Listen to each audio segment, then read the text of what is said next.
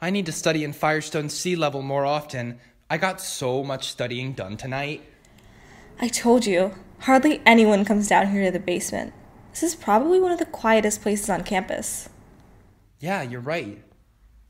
Oh, shit. It's 1 a.m. We stayed past closing time. The exit's right here. Yo, I think they may have locked us in here. No way. What about the elevators? Broken. Oh no. We may have to stay here overnight. Fuck, fuck, fuck. Joe, breathe. I can't believe this is happening.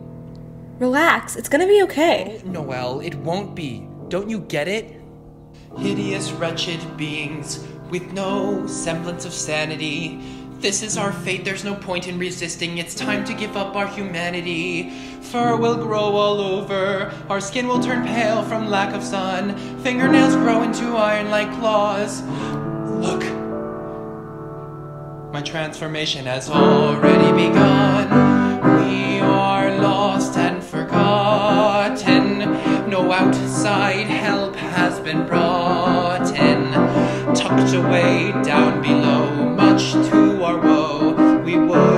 bemoan if we had never aimlessly roamed. But now to survive on our own, we will become the mole men of Firestone. Joe, stop being so overdramatic. We just have to stay here and wait.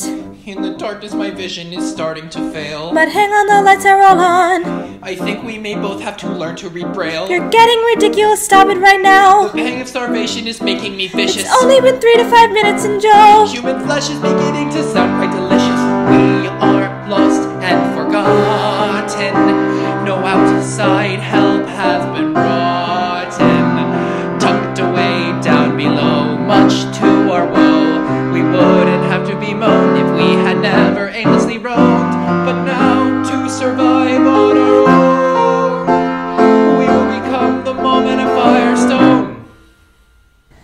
my god, we're idiots. I just remembered we can just call someone to get us out of here. I yearned to return to society, but faced with the chance to grab a peek, the prospect of leaving gives me anxiety. I'd rather stay down here and sleep. What if the world my smartphone's antique? What if all nations were ruled by Genghis Khan? And with my physical transformation, people will view me as a freak. Joe, shut up. It's literally been only a few minutes since we were locked down here. I'm texting my roommate now. Hmm. What is it?